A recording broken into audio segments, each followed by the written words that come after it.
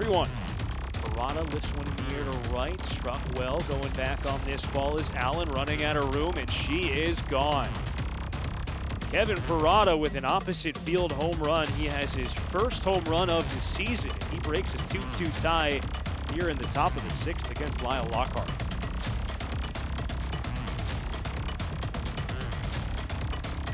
Into the jet stream, Parada only hit it 94 miles an hour off the bat. It only traveled 333 feet.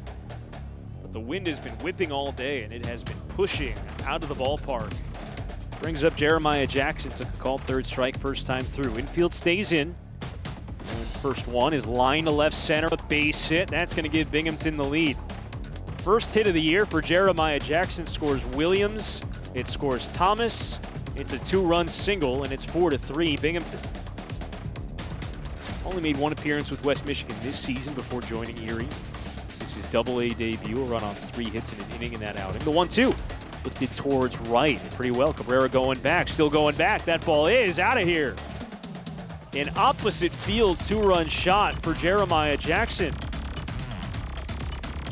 as Reyes went back to the sinker, dotted it on the outside corner, and Jackson waited back on it, put it up into the wind and right. 6-3 Binghamton leads his first home run of the season. It is the Jeremiah Jackson show so far here in game two with four runs batted in.